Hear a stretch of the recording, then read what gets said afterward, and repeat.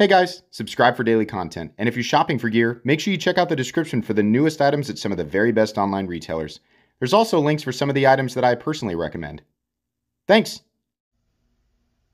What's going on YouTube? Metal Complex here, and today I'm going to be sharing with you guys my entire updated knife collection. This is going to be a long video, so uh, grab a beverage, grab a snack, kick back, uh, I'm definitely going to be going over every last detail, every last knife that's in my collection. Um, this is definitely the most requested video as of late. I did this video a while back. In fact, I've done it multiple times, but since the last time I've done this video, I have acquired a lot of new stuff, and I've been waiting for some of that stuff to come in uh, so that I could do this and have it all in here. So it's all here, or the most recent acquisitions are here, so I'm going to be sharing that with you guys. We're going to go over the main core of my collection first, some of the nicer stuff, then we're going to move on to some of the weirder stuff and some of the budget stuff in my collection, so you can stick around for that afterwards if you want to. Um, if you're new to my channel, I upload literally every single day. I've been doing that. I've been doing this for three years now. So if you like knife content, you like knife reviews, discussion topics, unboxing, stuff like that. If you're just big into pocket knives for whatever reason, you might like my channel. So if you want to subscribe, that would mean the world to me. Uh, thanks so much to my generous patrons who are supporting me right now. There's a link for Patreon right down below. And please make sure to follow me on Instagram at metal underscore complex. Some of this stuff is available. And if it is available, you can almost bet for certain that it will be uh, located at the retailers I've got listed in the description. So if you see something you like, feel free to use those links and just type out the name of it in the retailer. Um, and it might be there. Uh, a lot of this stuff is is definitely not available though, so I, I can't guarantee that it's all going to be there. Uh, some of this stuff is rare. Uh, some of it's you know just in general, it's just really difficult to get. So I'll kind of make mention of that as we go along. Uh, these are in no particular order, but they do tend to get nicer and more rare as we move up this way. But yeah, they're not necessarily in order by value. Starting off here, um, with the, probably, the, you guys probably haven't seen me unbox this yet. This is the DLT Trading exclusive Lion Steel Best Man in the sheep's foot blade with silver twill. There's actually a bunch of different, um, these are definitely available right now. You can go down in the description and get them at DLT Trading. M390, titanium liners, Silver Twill, I think this guy comes in at about 110. There are versions in micarta that come in a little bit less. This is excellent. Modern slip joints. This is probably my favorite modern slip joint that exists, and I'm really, really happy with it. Um, but uh, yeah, you guys will probably see me unbox this and review this in the near future. It's just the way that I schedule out the channel. So really like that one. Moving on here, and I know, by the way, you guys are going to ask me about this case. This is a Pelican 1450 case. I love this thing. It's excellent. It's got the areas for the uh, locks. It's got the uh, pressure seal, this or that. It's also got the pressure control thing down here. Uh, waterproof up to a certain depth. Uh, the foam on the inside is Nalpak foam. You can buy these two items together on the Nalpak, that's N-A-L-P-A-K website. But the Pelican case is more expensive than the Apache version, which is the, I think, Apache 3800. I know people will say that, so I'm just going to tell you. You can buy the Apache 3800, and then you can buy the foam and save yourself some money. It's essentially the th same thing. I just really like how the outside of this feels. It feels a little bit more premium. It feels a little bit more, I don't know. It just feels nice. So, but you can do what you want to do. Uh, this is the 40 count um, foam.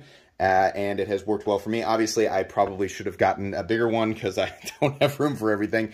Um, but anyways, moving on here, we have uh, the uh, QSP Penguin in titanium and 154 cm. This is an excellent value knife.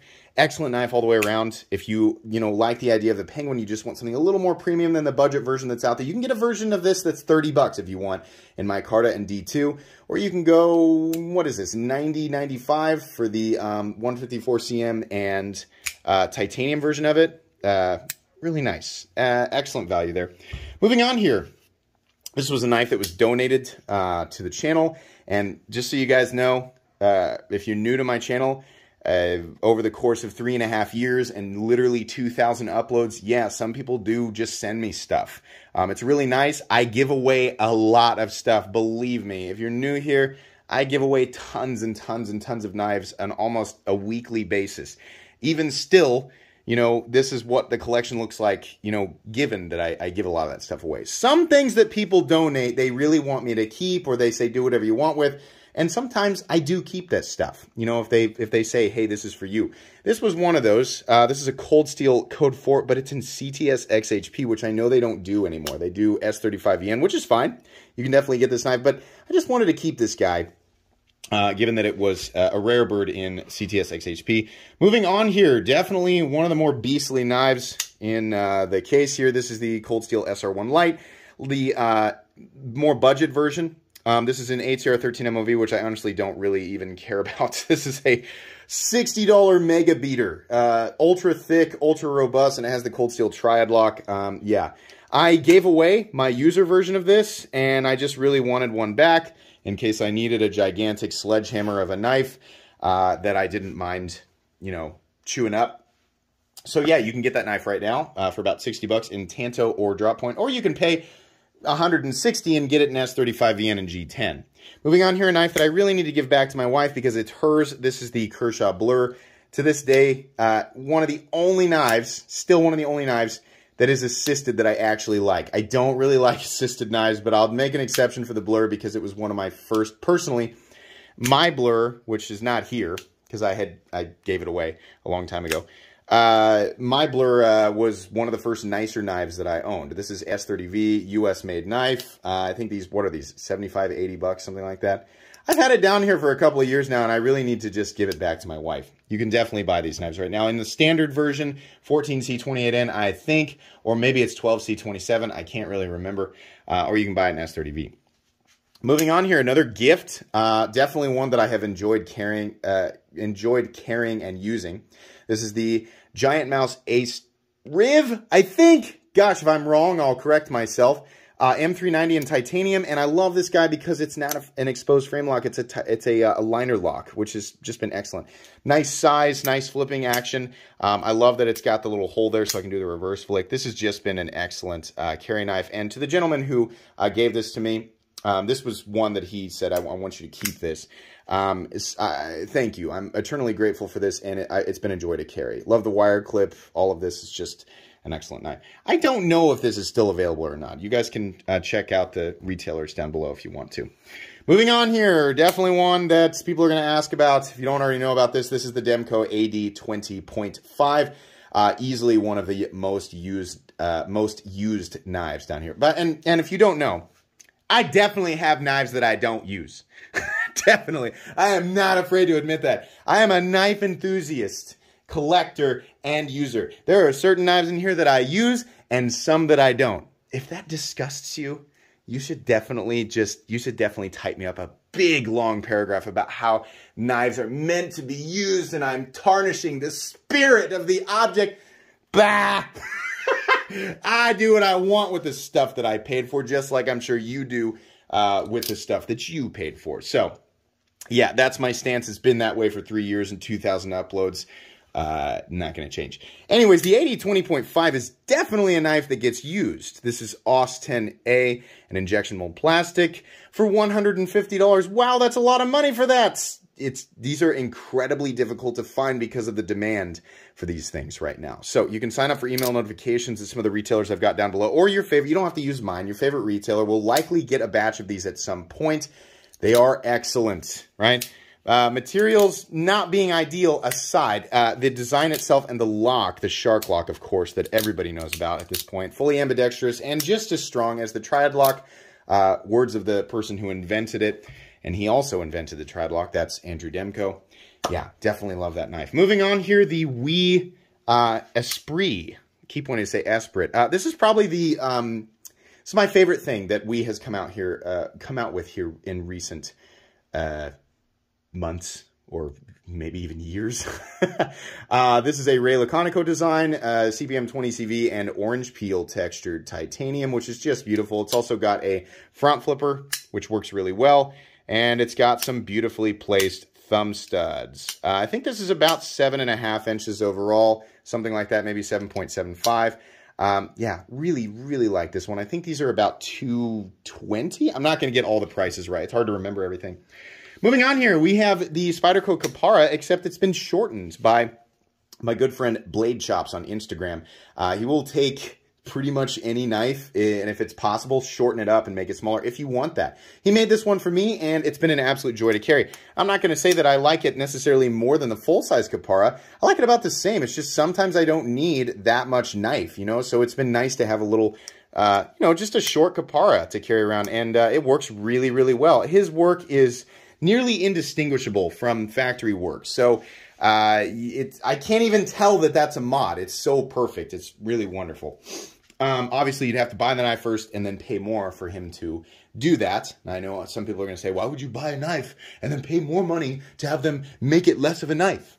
It depends on how you look at it. If you look at it like that, then you probably don't want that. But some people might like a shorter, you know, version of whatever knife they've been enjoying. Or maybe they've got a knife that's been in their collection for like years. So the sting of spending X amount on it has gone out the window and they're just looking to spice it up, which is basically the foundation of the entire knife modification world, right? Pretty firm foundation. Lots of people interested in stuff like that. So yeah, I think, uh, I think there's a, definitely a, a very potent place for somebody who does modifications like that. Go check out uh, Blade Shops on Instagram. Next up, this was also a gift. I have a lot of stuff in here that was that was gifted to me. Uh, you know, over the course of three years. This was a gift from my good friend Shaker MT. This is a Benchmade custom shop um, mini Crooked River with uh, blue G10, black bolsters, blue pivot collar, CPM 20 CV blade. This is such a wonderful knife and is I, I, this is one of Benchmade's best knives ever. It's also one of the most uh, one of the best knives to customize on their custom shop because of all the different contrasts. You have the pivot collar up next to the pivot hardware and the bolster, which you can change the color of, right? And then the, the different colors of G10, the backspacer, right? The different coatings on the blade or the different colors of blade or finishes on the blade. Um, and then your different steel choices, of course. This is, so at least, even if you're not going to buy one, go play with uh, Benchmade's custom shop and build yourself a, uh, a mini Crooked River or full-size Crooked River. They're just, it's so much fun to do.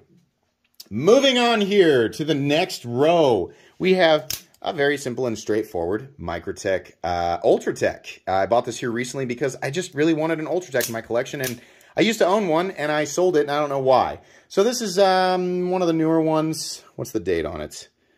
Yeah, January of 2021. This guy's in M390 and is a simple stonewash drop point.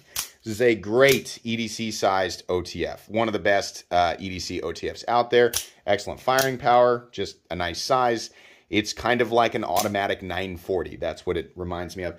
These are pretty pricey. I think they're up to about 290 now. So, but American made and definitely, definitely still recommendable. Moving on here, this is the um, the uh, Artisan Cutlery Aureus in uh, titanium. Beautifully, can we get it, zoom up there? Oh yes, beautifully milled titanium. This is one of the uh, Artisan Cutlery knives, and this was sent to me by them, that I just couldn't say no to. Uh, this is such a beautiful design. I think this is a Cerberus Knives. Yeah, Cerberus. I think there's the logo right there. But yeah, S35VN, I wish it was M390, but it's not. Just beautiful action. It's just a beautiful carry knife overall. Uh, I think fans of the Spyderco Shaman will find that um, a lot of the lines here are preferable. It's obviously not the same thing as the Shaman, with it being a titanium frame lock. But uh, yeah, this is an excellent knife. I think these come in at about 200, something like that. Moving on here, the Lion Steel TRE. Whoops. This is a knife that my wife uh, this was actually the first knife that my wife gifted me for our anniversary. Every year, my wife and I do this thing where she picks out a knife. I don't get any input. I don't get to know anything or say anything. She finds a knife she thinks that I will like, and then she gifts it to me. So um, you guys will see actually all of the gifts that she has ever given me uh, as we go through the collection. The Lion Steel TRE Titanium has been wonderful. I've carried it a lot. As you can see, the ano is actually wearing off of the pocket clip, which happens right? If you didn't know that, anodization will wear off over time. Uh, but I have very thoroughly loved this knife, and I will continue to love this knife. Very special to me. I think you can still get these. I think they're pretty expensive, though. You can get a G10 version for less, but the titanium ones, I think, last I checked, were about 270 Another gift from my wife, a much more recent one. This is the uh, Spyderco Delica in the Sanmai Damascus and titanium. I think, yeah, this was my anniversary gift last year. Uh, we'll get to my anniversary gift this year, believe me. Um, but yeah, this was my anniversary gift last year. I do not know if these are still available. I want to say that they are 200-ish, something like that. This is a beautiful knife, and it's the knife that I carry now to uh, special occasions, just because it carries um, just it, carries a little easier. I do have a MXG deep carry clip on this guy. It just works a little better than the standard clip, and I think it looks better too. Um, but yeah, if I'm going to a formal event, this is the knife that I carry. Um, I just really love it. Nice knife. Moving on here, another gift. uh, this is the Rike uh, 1902. This is a stunning knife. Really, I had no idea what Rike was capable of until I handled this knife. The detail on this thing is just unbelievable. This was uh, a gift from a viewer, a very, very generous gift from a viewer. These are numbered. This one is number 68. Gosh, that would have just been awesome for it to be one but it isn't, so that's great. I'm happy with 68, right? Lock bar insert. Look at the ano work on this. Oh, the backspacer, excuse me. Uh, the backspacer is just beautiful. The uh, blue marble carbon fiber inlays are just perfect. Oh, Rike does a great job. This is a beautiful, beautiful knife. What's the steel? I think we saw it, M390. I love that they put everything in uh, a fancier font on this guy. Really beautiful knife. And I don't think, I mean, considering what knives that look like this generally go for, I don't think that was horribly, maybe between 200 and 240, something like that. Moving on here, getting into some of the wilder stuff. This is a knife that I bought for myself. This is the Vero Engineering Synapse XL, something I've been drooling over for a long time. Finally got my hands on one. I cannot remember how much these cost. is it two are they around 300 something like i honestly can't remember i i knew that the first chance that i got to get my hands on one i would get one in exactly this configuration a stonewashed m390 blade uh, you can see right there this is number 595 this is end cut carbon fiber it looks like g10 but it's end cut carbon fiber love the pocket clip the whole like just presentation of this knife is just awesome uh really really happy to finally get my hands on a Vero Engineering. I, I like this regular size, and I like the axe and all that. I had to get the XL. This is just, it's just, it's just too cool. Uh, that's, uh, that's why I sought it out. Took a while for them to become available, but um, yeah, love it. Moving on here, this is kind of a weird one. This is the uh, this is my original Spyderco Shaman that is now sporting um, a, a different MXG deep carry clip and different scales. These are the scales that came off of my River's Edge Cutlery exclusive Shaman because I've done something else with that. And they just, you know, I, I was like, well, I'll put them on my original Shaman, right? Um, uh, originally, I had taken the black scales off of this and put them on the other Shaman, which you guys are going to see. Then I took those scales off that Shaman and did something else with it, and I had these green ones, and I thought, eh, well, I'll just put them on the old Shaman, and, they worked perfectly. So, yeah, that's what this, uh, what this is. Um, these are now very expensive. You can find them. The Spyderco Shaman is something like a 205, $210 knife. Wow. I paid 185 for this, and even then, I probably paid a little bit too much. But it is a great knife. It's still one of my favorite knives of all time. So, yeah, if you want to check it out, I think they are trickling back into retailers. This is not a knife that is uh, trickling back into retailers at all. This is the Sharp by Design Evo Typhoon. Um, this uh, is uh, this particular version is in Damasteel. Those of you who own this right now, maybe you're even flipping this exact knife on your couch. You remember how long we waited for these. and then I'm sure you remember opening this up and it all being worth it. Uh, I was more than happy to wait, I think something like nine or 10 months for this knife. Um, this version was a little over $500. This is the, um, is it shred or marble? Well, it's carbon fiber, shred carbon fiber and Damasteel made by uh, or designed by Brian of Sharp by Design and made by Reate. Oh my goodness, this is such a wonderful knife. I had to go with the uh, harpoon blade. Um, really, really happy with this. Um, I will never, ever get rid of this knife. There's a lot of knives in this uh, currently in here that I'm like, yeah, maybe, you know. And if you're wondering, right, at the 20 minute mark, you're like, does he ever sell his knives?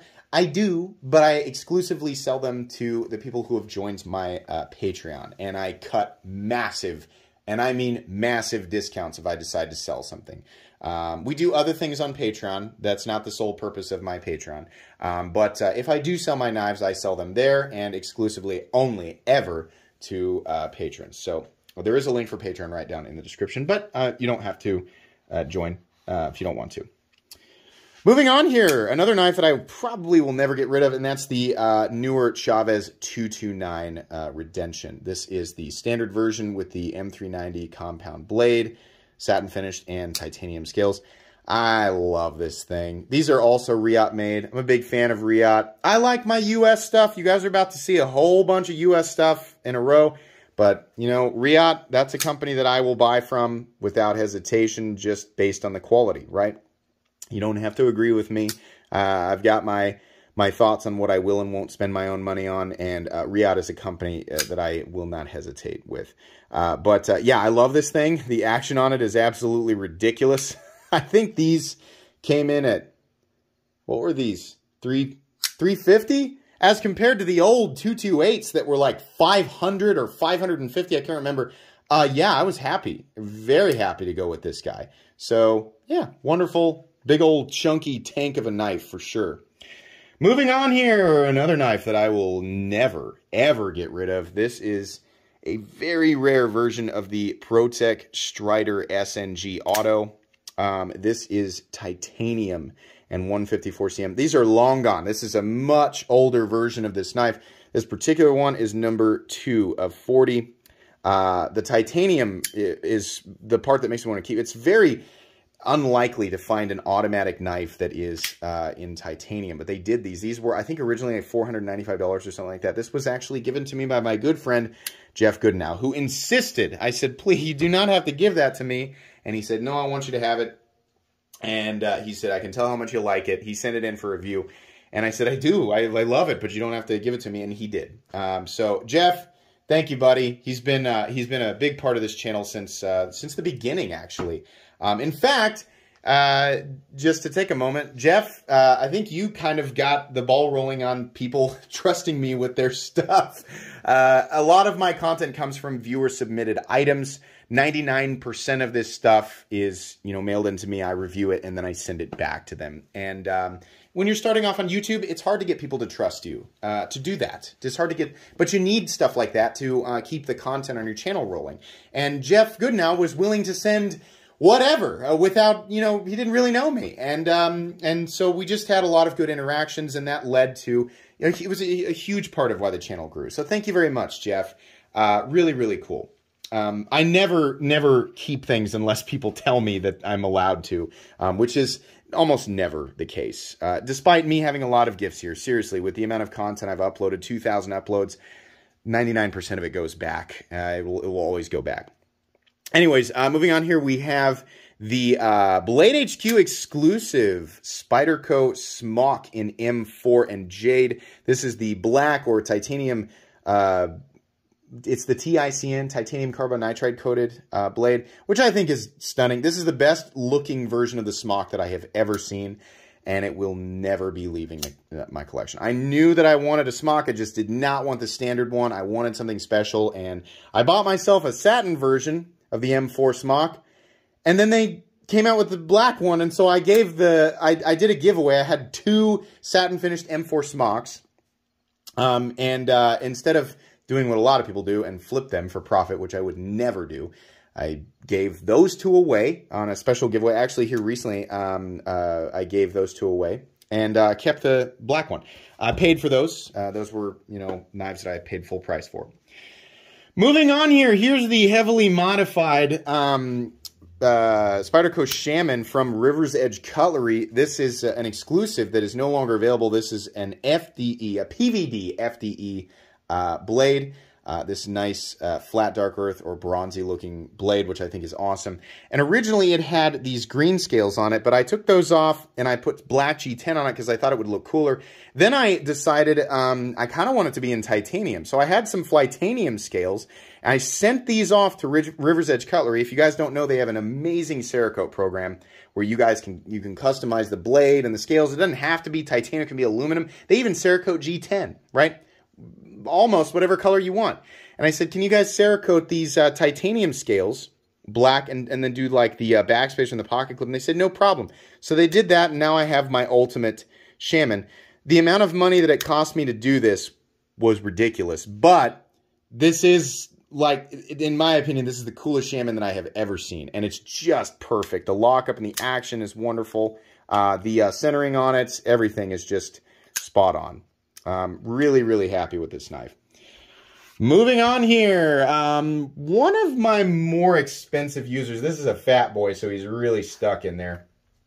Um, this is the uh, Strider 3 quarter AR. This is actually a DLT trading exclusive in S90V.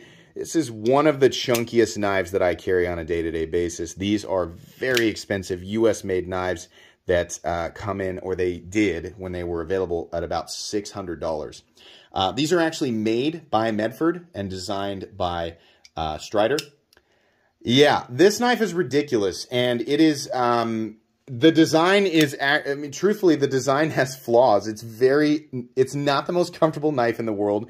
Um, the jimping will absolutely chew your fingers up. But the quality of it is very, very good. And this thing is unquestionably tough. Running on phosphor bronze washers, nice thick frame lock, has never failed, has never slipped. Uh, it actually has wonderful cutting geometry thanks to uh, the aggressive angle down here. Um, and it's very thin, very sharp. Uh, S90V has... I've done some weird stuff with this, including mashing a banana into the pivot, and this thing has just shrugged it off. This is not the standard LBS. This is a zirconium LBS that I bought from... I can't remember off the top of my head. I'm so sorry to the person who made that for me, but I do love it. It's wonderful, right? This is a great knife. It's remained perfectly centered, lock up, solid, early, all of that, right? This is just, I love this knife. Um, moving on here, some more American stuff. We have, I hunted this guy for a while. This is the uh, Guardian Tactical Recon 40. I decided to go with an all-black version. Uh, Elmax and the smoothest firing operation you have. Oh, there's Guardian Tactical Knives have unbelievable action. They just are incredible. You can get the Recon 35 right now, which is the smaller guy. This is the big. This is also probably the largest double action OTF that I have ever handled, and that's part of the reason why I wanted it. Um, I do carry this periodically. Not a lot because it's kind of big and huge and crazy and scary. Um, in Kansas, we can carry uh, automatic knives legally, even ones that are that big. So I don't have a problem with it. Um, but sometimes it's just, that's kind of the reason I bought the Ultratech is because it's smaller and easier to carry. So if I have an OTF day or a day where I just want to carry an OTF, it's just easier for me to do that. Moving on here, another big boy, another um, hard to find big boy. This is the Microtech Scarab 2. Definitely the most powerful double action OTF that I have ever handled. This guy is also very, very robust. These are really expensive. By the way, the Guardian Tactical Recon 40, if you can find one, they come in at about 380 These guys uh, come in at 500 to 525 They are M390. Very cool blade on this guy. Love the uh, inserts there. I love how wide the firing switch is. And the action it's just crazy. The uh, the power that that blade uh, fires out with is just amazing. You see blue stuff, it's the foam right on the inside. Sometimes it just collects in there. Um, not a big deal. It's easy to wash out of there. It's not something that's going to hurt your knife, and you can literally just blow it out with compressed air, and it'll be okay. The protection that this case offers, right, when it's closed up, nothing moves, everything is secure. They don't rattle around in there. Well worth getting a little bit of blue dust uh, on the pocket clip. Uh, this is another gift from my wife. This is actually not an anniversary gift. This was a Christmas present um, back in, I think, 2018. Uh, 2000. Does it say 18 or 19? It says 2019. This was a Christmas gift of 2019. This is a signature series, uh, Microtech Combat Troodon. um, with the Hellhound blade, CTS 204P steel. Definitely one of the coolest looking OTFs and also a big boy. Um, this was a dream to own this knife. Um, these are about $600. I'm not going to say I think they're absolutely worth every dollar, but I own a lot of stuff that I don't think is worth every dollar you put into it, right? That's the uh, contradiction of being a uh, knife enthusiast. You don't always think that the stuff that you own is worth every day. It's hard to be like, there's tons of stuff in here where I'm like, that is way too much money for that. Give it to me. I'll take, I'll take it. You know, like that's, we do that all the time, right? So very much love that one. Another Microtech, another American knife that uh, was hard to hunt down, but I'm glad that I did. Um, this was actually purchased from, I, I bought this off of one of my viewers. I said I was looking for a Microtech Stitch, and I really wanted it to be in, like, you know, really good shape. And he said, I have one that's dead mint. And he was right. and he cut me a great deal on it. Thank you. You know who you are. This is the Microtech Auto Stitch. Uh, the original design, of course, from Borka Blades. Um, yeah, this is probably the hardest firing side opening auto that I've ever felt. It really, really fires hard. M390 uh, and the aircraft aluminum. I love the massively oversized fasteners on this thing. Um, I also love the huge firing button. Uh, the blade stock is 187 thousandths. It's just a big, nasty automatic knife. Wonderful. Moving on here, all, pretty much everything that's left is going to be really hard to uh, to find. I'll just say that right now, so I don't have to say it every single time. Uh, this was a anniversary gift from my wife back in 2018. I believe this is a 2018. Yeah, it says right there. This is the ever elusive um, Microtech uh, uh, SOCOM Elite. Sorry, I was spacing out. Uh, the SOCOM Elites. Uh, these uh, are these became incredibly popular after they dropped again. It's not the original version of the uh, SOCOM, but they dropped uh, a newer version of it in 2018. My wife picked one up. Well, I remember she said, yeah, there were a whole bunch of them in stock. They were just sitting there. I just thought you would like this. And I was like, I do like it. And then they were out of stock and became incredibly hard to get a hold of. The, um, the manual versions, right? There is an automatic version of this, but the manual versions, for whatever reason, became incredibly popular. And I mean, I say for whatever reason, I know why. Because they're freaking awesome, right? And they sound awesome when you deploy them. She picked up this uh, knife from me for about 280 bucks and uh, gave it to me for our anniversary, and I will never let it go, ever. It's never going anywhere. I love this knife. Moving on here, a knife that I purchased, another knife that I purchased from uh, a, a, viewer. Um, this is the uh, very rare uh, ZT0392, not the 0393. That's a different knife. This was a factory custom. Uh, this is a collaboration between Rick Hinderer and Zero Tolerance. This was a factory custom version meant to be very similar, if not almost identical, to the Hinderer Eclipse. The irony, of course, is that this now costs more than the Eclipse, even considering the new Hinderer shortage. The 0392 is a very rare uh, ZT knife, and it comes in um, different forms. This particular one used to be a BW BRZ or Blackwash Bronze, but I removed all of the bronze hardware because it had seen enough love that it was kind of fading. And I just put new uh, uh, Hinder uh, Eclipse hardware on it that's just satin. And I think it looks great. This is a user. Um, and the person who sold it to me cut me an excellent deal. I know what these go for on eBay, and I never would have been able to afford it had he charged that price for it, but he didn't. Um, so this is great. This serial number is, sorry, I've got some nano oil on there. Uh, 188. So I can't remember. This might have been from 2014 or so. I can't remember when they stopped making that particular version, but very cool.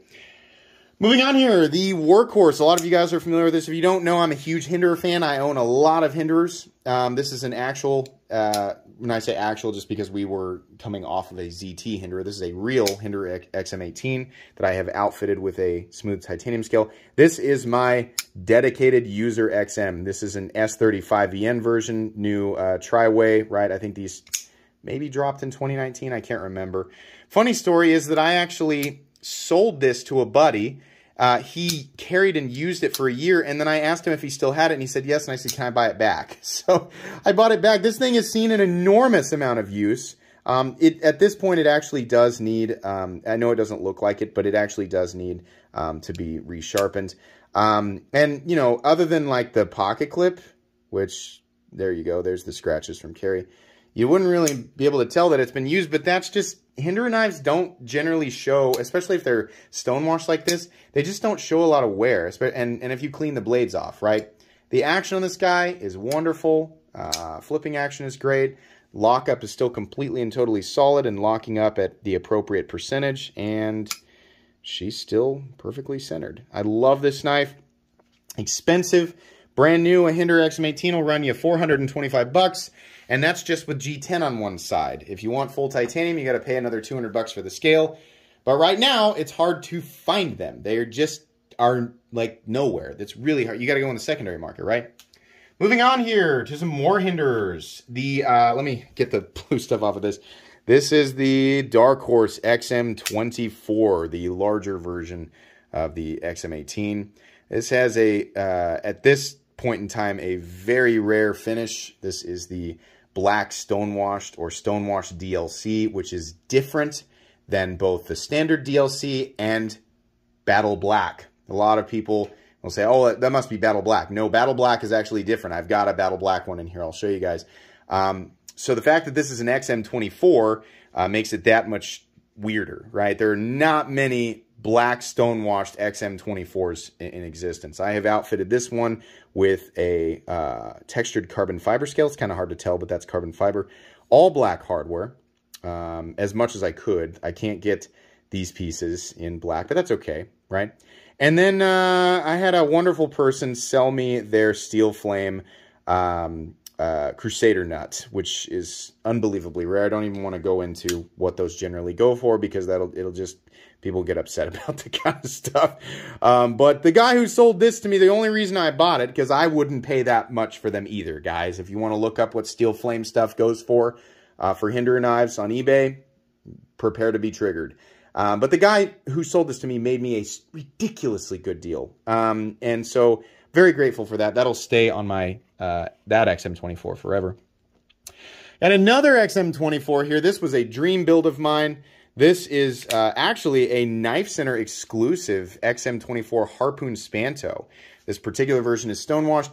What makes this version special, though, is the fact that it is a full titanium version. I waited for eight years to buy an XM24 titanium scale. They just, sorry, blue stuff in there. Um, they just didn't make them for so long. And thanks to, again, a lot of this stuff is thanks to a viewer. Somebody messaged me on Instagram. He actually, to get my attention, he actually sent a call uh, to get my phone to vibrate because he noticed that these scales were available on the Hinderer website. And he knew that um, once they were gone, they were going to be gone for a long time. Had he not done that, I would have missed this scale. So, to that person, you know who you are. You are directly responsible for my dream XM24. I'm so glad that I was able to uh, acquire this to get the scale. XM24s, if you can find them brand new, start at 600 And of course, adding a scale, uh, titanium scale will add another 200 So those are pricey knives for sure. Moving on here, here's a, uh, an XM in Battle Black, a very rare version uh, the XM18 3.5 inch. This is the uh, Monkey Edge frag pattern or MEFP or Monkey Edge exclusive. Uh, XM18 3.5 inch in CPM 3V. This is from the most recent run. You can see there the Monkey Edge logo. Um, this this is the Battle Black finish. So DLC is going to also be, like regular DLC is going to be a matte black.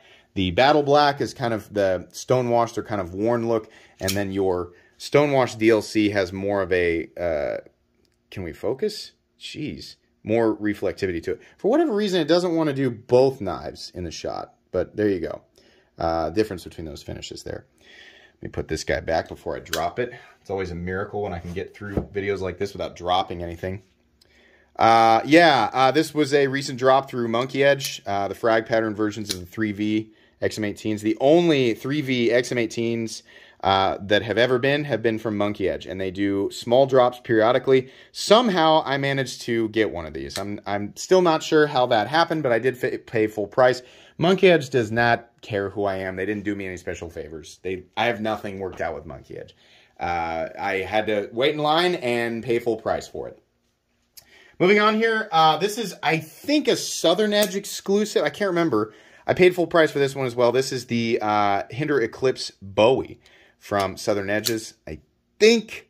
Um, and then I added a smooth um, uh, burgundy or like a, a magenta uh, Carter scale to it, which has worn in so well. I also use this one. My two dedicated, well, I actually have three users, my, my Hinder knives. Um, and it's going to be these two XMs and then, of course, the 0392. So I know this is going to make you cringe, but I really don't care if they touch each other because these are all users, right? People are going to say, he doesn't use his knife because he doesn't want to get a scratch on it. These are users. These are you. That does not bother me to have them clink and clank together, but I know that that just sent a bunch of you into an absolute fit. so I'm sorry. But yeah, those are my user XMs, right? They have been knocked around. I clean them. I take care of them, but I don't care if those get scratches on them because I, I use and carry those. Moving on here to a knife that I do not use. Let me wipe the, this was recently being uh, this was the uh, accompanying me for a, a, night of Netflix and chill, so it's got fingerprints all over it. Um, this is my Shirogorov Quantum, which is absolutely dead mint. I said in a uh, video here recently that this is one of the only knives in my... It's very rare for a knife to truly be flawless, and I, I literally go over my knives with a magnifying glass. Um, so this knife is truly flawless. Uh, this is a very expensive knife. This is uh, these come in at about eleven hundred dollars, but there's almost nothing out there quite like a Shirogorov. I have one other thing in my collection that I think is a little better, but it costs more money. Um, the Quantum, after uh, a viewer sent in his for review, I loved it. I sent his back, and a few months later, or it was actually six months later, I finally pulled the trigger on it. Um, I love the Quantum, and there's I will say there's nothing else quite like Shirogorov's multi-row bearing system. So very cool. My most expensive user. Um, a lot of, I think there's plenty of people who just flat out don't believe me, but uh, this is the Rockstead Higo 2 with that beautiful convex mirror polish, a truly mirror polished ZDP 189 blade. Because of the, I've said this many times, because of how they do the blade, uh, partially the mirror polishing, but mostly the convex edge and the Rockwell hardness of 68 on their ZDP. This will outcut almost anything on the market, right? So if you look up the composition of ZDP 189 and what test results for edge retention, uh, you know, result in, you're going to say, oh, it's a little below M390. Not this guy. This guy will, will triple outcut your standard decently heat treated M390 because of the way that they do this. Um, this is uh, carbon fiber and anodized titanium for the liner. Uh, big old um, phosphor bronze washers. These come in at 1500 This is an example of a knife that I paid way too much money for. I do not think that these are $1,500 knives. I do, however, think that they're definitely, I mean, well deserving of a $1,000 plus price tag. I just love how this knife looks. I love how it feels.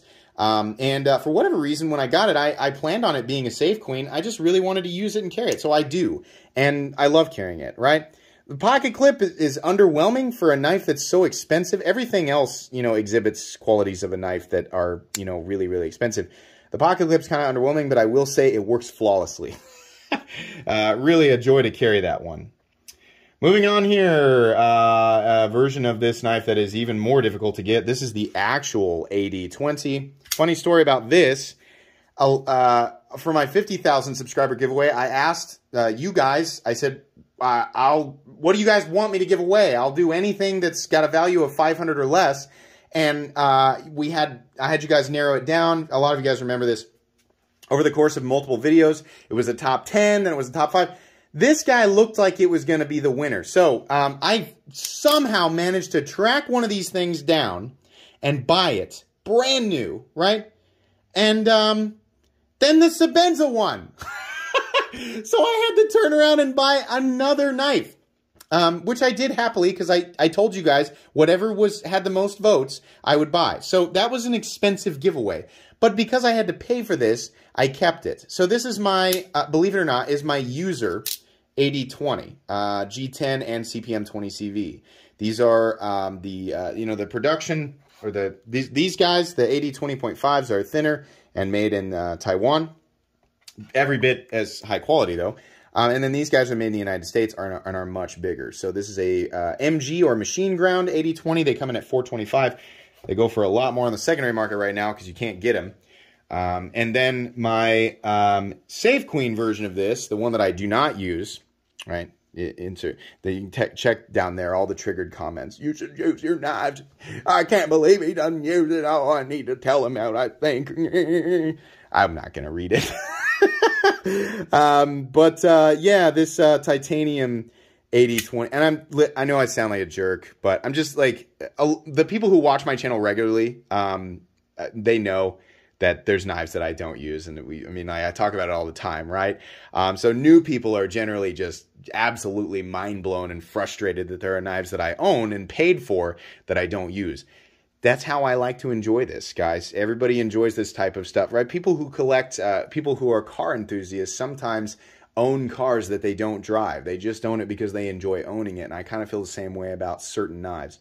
This is the titanium MG AD20, uh, one of the crown jewels of my collection. Uh, this was not difficult to get. I'm sorry, it was not easy to get, and they are currently not easy to get.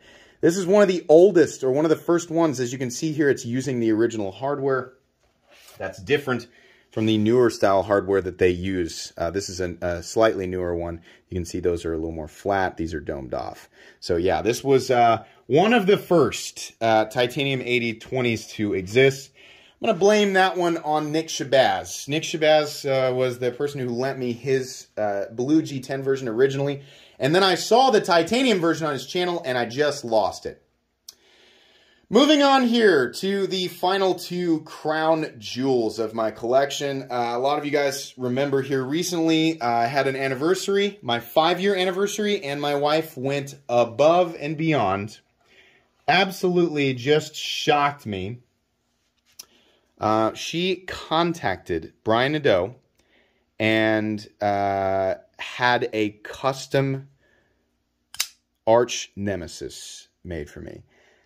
This is absolutely a crown jewel of my collection. Um, I cannot believe that I own this knife. It is a truly sharp on both sides dagger. And you can see there, it's actually a compound ground dagger. This is hollow here uh, initially and then flat ground out of the tip. Beautiful textured titanium transitioning into, oh, just some excellent milling. This is such a wonderful knife. There is nothing in this knife world quite like a Sharp by Design custom. Um, these are very expensive. In fact, I believe these knives start at 1500 um, and they go up from there. And they can get more and more and more complicated, right, with different materials and things like that. You guys know I like monochromatic stuff. I do have some colorful stuff in my collection. In fact, you're about to see something very colorful. Um, but uh, this is just, I don't think this could be any more perfect. Um, this is wonderful. Brian does not make a lot of these. He doesn't do a book thing. I'm kind of shocked that she was able to, you know, get him to do this. But I'm very grateful. Thank you Brian Nadeau for just uh, allowing this to be made for me. Um, that's really cool. And thank you, of course, to my wife for um, gifting me this incredible, incredible piece of cutlery. Um, my most recent acquisition, the custom, my first, I see, here's the thing. The Arch Nemesis is a custom knife. I did not know that that was coming. I uh, was waiting for my first custom to be built and sent to me. Um, and uh, the Arch Nemesis actually arrived first. But uh, this last knife that's up here um, was technically the first custom order. Um, and uh, it is quite the looker. Um, this is a Herman Dragonfly, full dress in uh, Timascus. The entire thing is Timascus. The pocket clip, the backspacer, everything. And then the blade is polished DamaCore, um, which, if you don't know, this is not the same thing as Damascus. DamaCore is actually proprietary, um, meaning when you see this or when you see the word DamaCore, it means it is always the same steels. This is one of the most technologically advanced blade steels in existence. Uh, the inner core, you can see there, It's It's got a core, and then what's uh, wrapped around it, or the jacket in San Mai style, is Damasteel, which is made by the same company. And that steel is very specifically RWL34 and PMC27. Those are powder form steels that create Damasteel, which is actually what this is made out of. This is Damasteel. Um, and it's a wonderful blade steel exhibiting uh, performance similar to CPM 154. So they use that as the jacket on this guy. Beautiful polishing on that. Just stunning. And then the core is a steel called N11X, if I'm not mistaken, which is identical, according to Larrin Thomas, to Vanax. And if you know what Vanax is, this is a serious, serious blade. Just can't. I. It's hard for me to fathom that I own this. I love this knife. Uh, it is perfection, and it is definitely the craziest thing that I own. Um, wonderful, wonderful. I can flip it one more time. Oh, man. The sound of that. Can you hear that? Oh, my gosh. Let's do it this way. Just try not to drop it. That would just be terrible. Ugh. Yeah. Um, the detail work on this is absolutely absurd. And keep in mind, the Timascus is actually being dulled right now because I've had my fingers all over it. The oils on your skin will actually uh, dull Timascus. It can be wiped off, but if it looks vibrant, it actually normally is much more vibrant after it's been uh, cleaned. I've not done a video on this guy yet, but I will. I just wanted to give you guys some close-ups of the pivots and the Timascus and the backspacer. I've not really done that for you guys yet. Um, but I, I really wanted, this was the knife that I was waiting on. I did not want to do a collection update video um, without having my, my Herman, right? Wow, 50 minutes in. Let's move on to some of the weirder stuff in my collection. Um, and uh, honestly, I'm probably going to have to cut the video right here. Okay, and we're back. Um, so what I have out here is, I've just got a couple of, a few oddball things. I've got a drawer of budget knives, and I've got my size comparison knives. You guys are probably very familiar with the knives that are size comparison knives on my channel, like the Ontario Rat Model 1. This guy definitely gets used quite a bit. The Ontario Rat Model 2, right? Which doesn't get used as much, but it's uh, a knife that I like to use as a size comparison knife because everybody knows what it looks like and feels like. Then we have, of course, my Spyderco PM2 outfitted with the um, Flytanium micarta scales, very much like this one. We have another gift from my wife, the Spyderco Para 3 in Maxamets. Um, that was I can't remember how long ago that was. This is one of the most used knives in my collection, but these guys are all, you know, these guys uh, uh, are size comparison knives. They're knives that you see every single day um, when I do a knife review.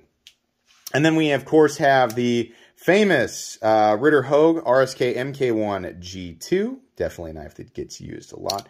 Or it's the Benchmade Griptilian, or in this case, the Ritter Hogue. And then we have a custom bug out, which has replaced my mini bug out for a size comparison knife. This was actually um, given to me by Benchmade. I said, I, I, really would like a bug out to use as a permanent size comparison knife. And they said, how about we make you a custom? So that was really nice. Titanium. This one's actually support, uh, sporting Flytanium uh, titanium scales now. S90V, black coated blade with the green studs. And then we've got green standoffs back here. Love this knife. Absolutely. Some budget knives. Uh, some of these were, most of these I purchased. Some of them were gifts. We have the uh, Cold Steel Tuff Lite. This was one that was um, gifted to me. We have the CJRB Ria. Uh, I think these are, what are these? 30 bucks, 35 bucks, something like that. Cold Steel Tuff Lite. Still have not cleaned this guy. All right. Most of the knives in this drawer are 60 or less. Uh, CJRB um, Feldspar. D2 and G10. Love that one. This was a gift from Civivi. Um, Civivi sent me my own um, uh, Elementum with the wood scales, and then it actually says metal complex on the outside of it. So thank you for that, Civivi. I appreciate that. Um, then we have another Civivi, the um, Ortis. I think this is probably one of the greatest budget knives ever. Definitely. Uh, this also one of the greatest budget knives ever, and that is the Civivi Praxis. Uh, moving on here, we have the Knives Plus exclusive version of the QSP Penguin in micarta and S35VN. Very cool. That knife definitely gets carried and used. We have the uh, CJRB Scoria, I think. This is a test of like memory for sure. Um, this is one of, if not CJRB's best knives. AR RPM 9, a titanium pocket clip, very thin, contoured um, micarta scales. Definitely an excellent knife. I, this is the one that's a little more expensive. I think these are 75 or so, but a really good knife. Uh, I keep these around for um, basically just for reference, but this is the Opinel 8. Probably my least favorite knife in the entire collection, and honestly, one of my least favorite knives ever. No, you can't change my mind. I don't really like them, but I have some. Another great budget knife. This is the Civivi Imperium uh, front flipper. Definitely a great one there. Another um, cold steel Tuff Lite. This used to belong to somebody else. Somebody uh, gave me like a huge collection of cold steel knives, and I just I kept this one around um, because it is still in full working condition. Another Opinel. This is an Opinel number nine in the carbon or carbone steel, right? Uh, it does. It, it, has seen some use. I broke down a bunch of boxes with it, and you know, in all fairness, it uh, it did really well. I just don't like how it looks or feels. um, I have a mini Tuff Lite, which I have not reviewed yet. I really need to review this guy. Um, I have a cold steel. This is another one that was uh, gifted with that collection. The Pro Lite. Um, pretty cool. It looks like it's missing a stud, but okay. Uh, I have a uh, Spyderco Tenacious, which was also uh, that was just part of that collection. It's not a cold steel knife, but it was it was gifted as part of that collection. Definitely going to keep that. Kind of feel like I need a Tenacious in my collection. My first pocket knife ever, which is a I think we can still see the model number on it. A Camillus number 70. This was my grandpa's knife, and he gave it to my dad, and my dad gave it to me when I was nine, and then took it away, and then gave it back when I was 11 because I was throwing it in um, a refrigerator box, trying to get it to stick. We have this hilarious, I've I, actually, this is my favorite Opinel. I'll say that. This is the massively oversized um, Opinel number 13. Um, yeah, I, I, I need to review this. I have not reviewed it yet, but it is hilarious. I think these were like a hundred bucks. This was gifted to me randomly, um, by, uh, a viewer, and I, I love, I do love this one. This is my favorite Opinel for sure. Got some fixed blades. I gotta be honest, I cannot remember what the name of this fixed blade is, um, but the finish is on purpose, right? Uh, it's not, not corrosion, that's intentional. This is a fixed blade that was made by, um, alien knives. Um, so, uh, and I enjoy it. Um, it's definitely a knife that gets used periodically around here, like the Burlap Micarta scales. It's cool. I really appreciate that one. Um, we have a fixed blade uh, right here, and I'm not really sure what this is called. Maybe it'll have something on there. This was also donated as part of that collection. USA, oh, Tops USA. So it's a Tops fixed blade. Incredibly thick. It's like a quarter inch on the spine.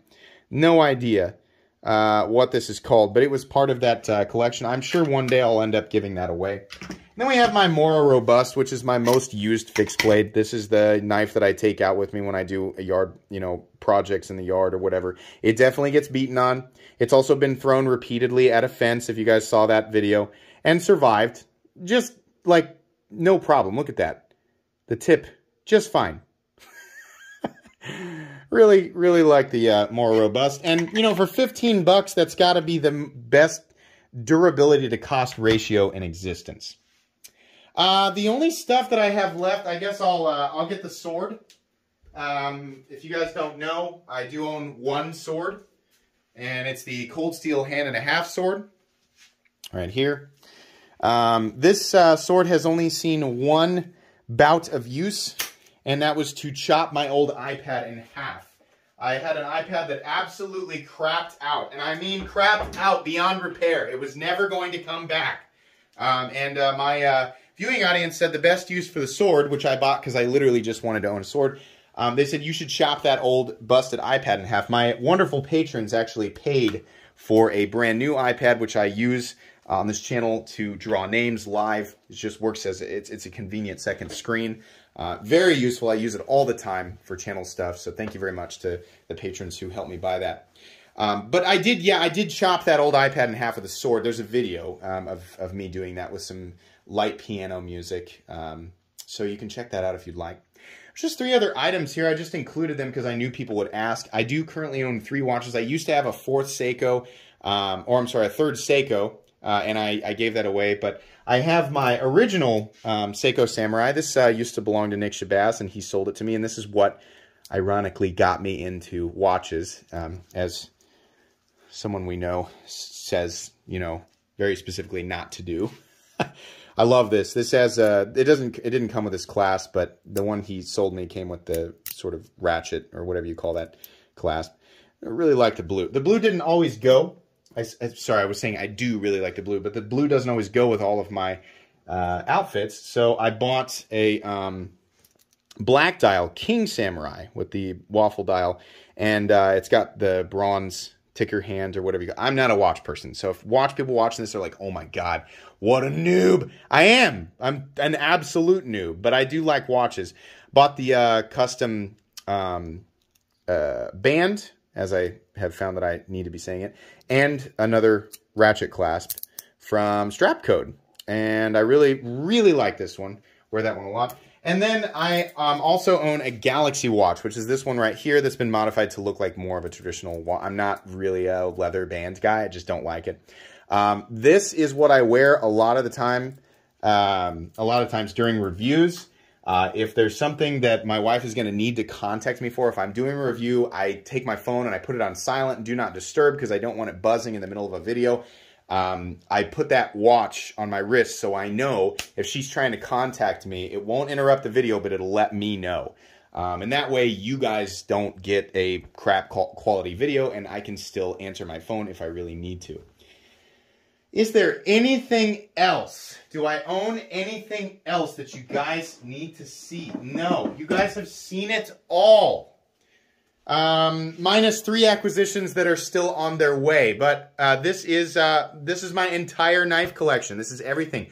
Um, I hope this was entertaining. I I love um, I love the knife hobby. I love collecting knives. Obviously, nobody needs this many knives. My collection has grown due to um, you know, some of them were my own actual acquisitions that I hunted out, and we obviously have a lot of generous people in this community who insist on giving me things. Um, but I want to stress that I do try to give the vast majority of those types of things away. When retailers, manufacturers, my, uh, custom uh, makers, um, you know, and uh, uh, people from the community, when they give me things, I try to, you know, I, I try to give that stuff away. Um, because it, it, it, makes more sense for me to enjoy it for the time that it's with me and then move it on to the people who watch my channel and support me. Um, so uh, I do have a few things that I keep that are gifts, and it's mainly for sentimental reasons. And then I have things that I have, you know, worked hard to acquire um, and spent money on, and I just want to keep in my collection. So largely what you saw in the Pelican case is a, um, and I'll move that back out here. Let me just scooch this stuff over. What's in the Pelican case is largely a permanent part of my collection, meaning I will likely never sell the stuff that's in here. Um, but if I do, uh, then like I said, I, I sell my stuff on, on Patreon and I generally take whatever the original, not the, the current value, but whatever the original price of it was from a retailer, I generally take that and cut it in half or at least cut it by 30%. Um, that's generally how I do it. And then what I do with those funds is I use the funds to purchase things uh, that I can turn back into content. So it, you know, kind of creates a cycle with this channel.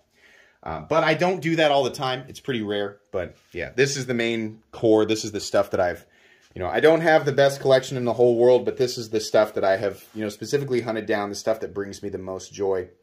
Thank you to everybody um, who has um, helped me uh, acquire this stuff. If you've sold me a knife or if you've gifted me a knife, thank you. Thank you for allowing me to do this and then share it with the rest of the community. Um, and thank you to the people who have supported this channel uh, in any way, shape, or form, whether you're a Patreon or a part of the Knights of the Round or you are uh, somebody who um, just likes to come hang out and watch, right? Thank you very much. I hope this was um, uh, enjoyable. I hope you guys enjoyed uh, kicking back and watching me go over my collection. This is probably the longest video that I've ever done, and I will do this video again as uh, as uh, you know the next time you know maybe six months or a year from now we'll do it again when the when the um, collection has expanded and new things are here. So, anyways, um, please. If you're not subscribed and you enjoy knife content or you liked this video for whatever reason, if you'd like to subscribe, uh, please subscribe.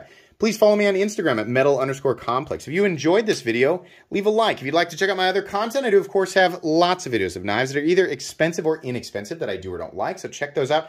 And if you enjoy all my content, go ahead and click on that metal complex logo right there. And like I said, subscribe because there's definitely more coming. Thanks again for watching, everybody, and have a great day.